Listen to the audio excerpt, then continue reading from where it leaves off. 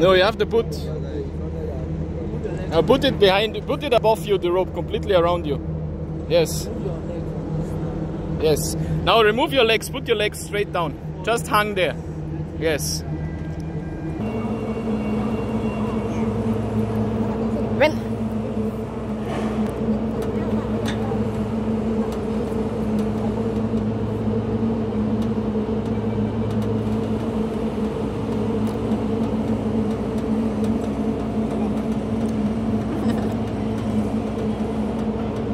girls like engineering?